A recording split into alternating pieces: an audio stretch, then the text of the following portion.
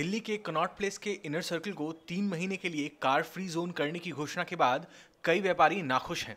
इसका सबसे बड़ा असर कनॉट प्लेस में मौजूद पाँच पेट्रोल पंप पर पड़ेगा। ये पेट्रोल पंप पूरी तरह से ठप पड़ सकते हैं। पेट्रोल पंप्स तो पूरे बंद हो जाएँगे। जब व्हीकल ही नहीं आएगी हमारा तो काम ही व्हीकल में तेल डालने से चलता है। हमारे यहाँ पच्चीस एम्प्लॉयज़ काम करते हैं। हमारी खुद की फैमिली है दस लोगों की जो इस पेट्रोल पंप के ऊपर डिपेंडेंट है वो कहाँ जाएँगे? इन पेट्रोल पंप से हर दिन हज़ारों गाड़ियाँ पेट्रोल और डीजल भरवाती हैं। इनर सर्किल को कार फ्री जोन करने से इन पेट्रोल पंप से पेट्रोल भरवाना मुश्किल हो जाएगा। इन पेट्रोल पंप पर काम करने वाले कर्मचारियों को भी अपनी नौकरी जाने का डर सता रहा है।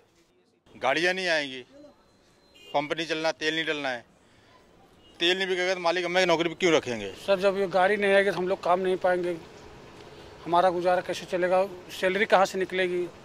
इस फैसले से कनॉट प्लेस में ट्रैफ़िक जाम की समस्या से तो निजात मिल सकता है लेकिन कई व्यापारियों को नुकसान भी होगा। सीपी के इनर सर्कल को व्हीकल फ्री बनाने के लिए सरकार ने एक बड़ा कदम उठाया है। पॉल्यूशन और बढ़ती गाड़ियों की संख्या को देखकर इस फैसले को सबने अच्छा माना है। लेकिन इस फैसले के चलते सीपी के इनर सर्कल के पास बने कई पेट्रोल पंप पर काम करने वालों के लिए ये फैसला मुसीबत बन गया है। कैमरा पर्सन चेतन भारद्वाज के साथ गवर्नेंस राव के लिए पवन त्रिपाठी।